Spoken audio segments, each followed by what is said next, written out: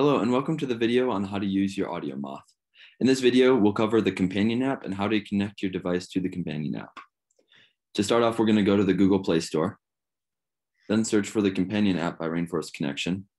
It will be the first app to show up and you can select it and press download. I've already downloaded it, so mine says open.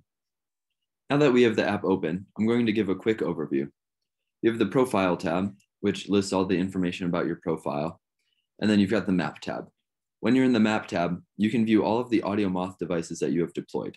I haven't deployed any yet, so you can't see them. Now let's look at how to connect our AudioMoth device to the app. We'll press the green plus button and select AudioMoth, then select deployment site. What this actually does is select on the map where you're going to be deploying your AudioMoth device.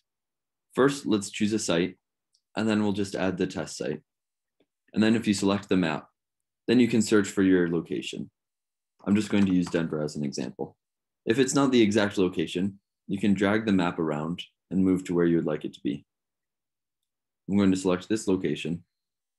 And then your last option is you can change the project that you're working on. I'm just going to go again with my test. Now we can synchronize with the AudioMoth. When you get to this step, make sure your AudioMoth is switched to off, and then we'll press begin sync. I can hear the noise, so I'm gonna press yes. Now I can switch my AudioMoth to custom. And now that I've done that, you can press yes again. And now make sure your AudioMoth device is flashing green with a solid red light. You can see mine has that. Now a second audio set is going to be played, so move your AudioMoth next to your computer again. Now that the second audio piece is played, you should see that your AudioMoth has a red flashing light. When you're deploying your AudioMoth in the field, you can add photos to help you remember where exactly you have placed it. Now I'm going to press deploy.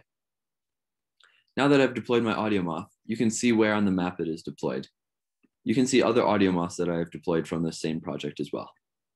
And that's how you sync an AudioMoth with your companion app.